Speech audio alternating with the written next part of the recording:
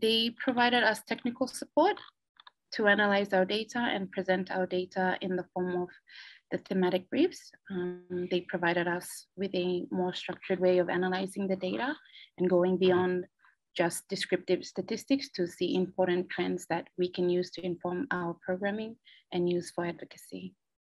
These were disseminated to our partners and stakeholders, including government and non-government. It was also presented at child protection cluster and GBV cluster meetings and key meetings with government and other stakeholders, such as learning for forums and a part of the current GBV inquiry process. We are using the data to support our advocacy campaign for need to ensure essential GBV services remain open during COVID-19 and for government to ensure resourcing of services, including the helpline by showcasing our work. Asked our partners um, who received copies of the briefs, how useful were the briefs. Uh, those that responded strongly agreed that the briefs were very useful in providing information of the thematic areas.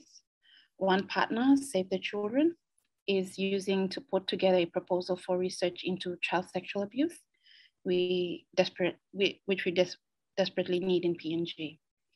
Um, we have received a lot of attention from all stakeholders and asked to present at many different forums as this type of data is very scarce in PNG. For the third brief, that was the uh, COVID thematic brief. Um, it was has been used to, and we have disseminated that to our partners and stakeholders as well. And it has been used in the media.